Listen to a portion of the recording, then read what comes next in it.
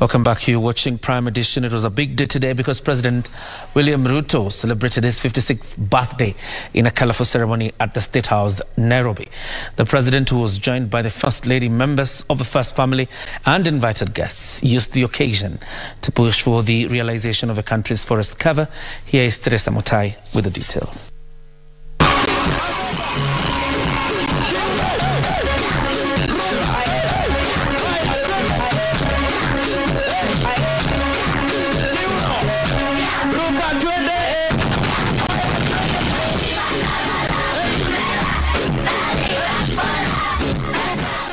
Fun, dance, and celebrations rocked the State House during President Ruto's birthday.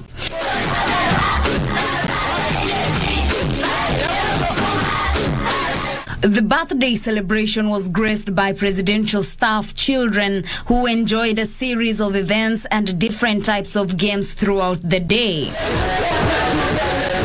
The India party hosted by the First Family also doubled up as their anniversary.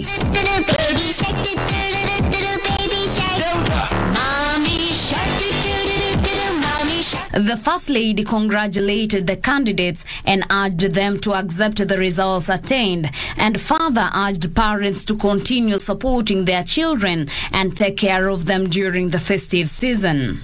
We want to wish you God's blessings, and parents want to say thank you so much for the work that you continue to do, even in State House and in the office of the President. We appreciate you. And to those that did Class 8, I want to say congratulations to all our children, our candidates all over the country. I know the results are out today, and there are those maybe that uh, did very well, they are celebrating. There are those maybe who feel they did not meet the target they wanted. Maybe they are a little bit down, but I want to say that in our nation, Kenya, every child matters and we celebrate every child.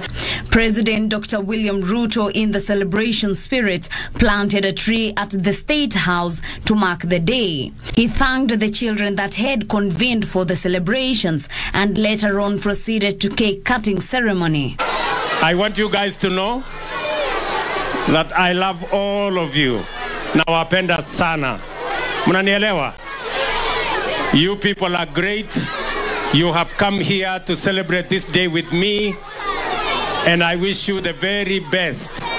All of you, the children of Kenya, you are the very reason why, as parents, we work hard, we work smart, so that we can give you a chance to be your best.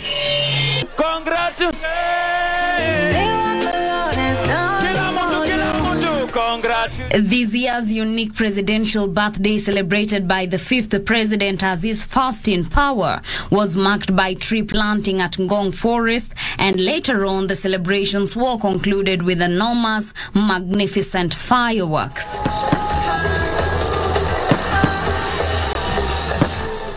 For Prime Edition, I am Teresa Mutai.